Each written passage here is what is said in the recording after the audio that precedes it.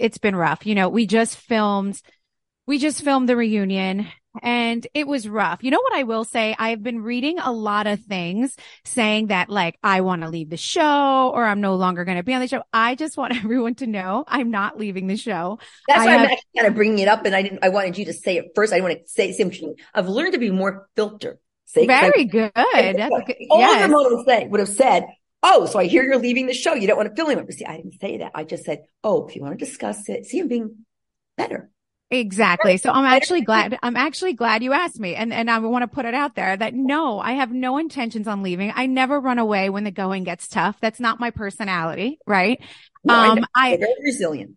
Right. And you know what? I, we've been, our family has been through ups and downs it, so for, for so many years on this show. And I have never left before and I have no intentions on leaving now. So, you know, some of these fans out there, they, and I'm sure you've experienced this. They get this idea in their head or they get, they grab onto something and they just run with it and run with it. And unfortunately, some people actually believe it, right? People believe